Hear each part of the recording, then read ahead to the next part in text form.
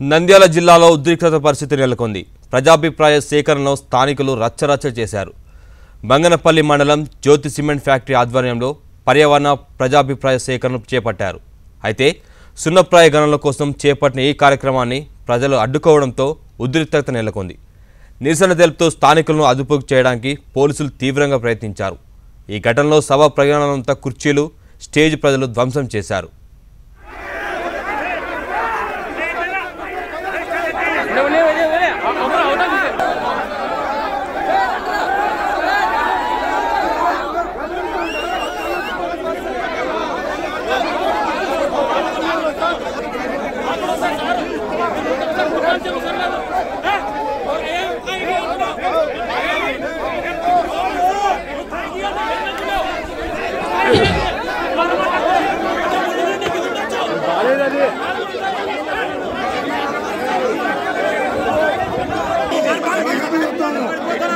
కొట్టదు కోళ్ళు కొన్ని చేపడా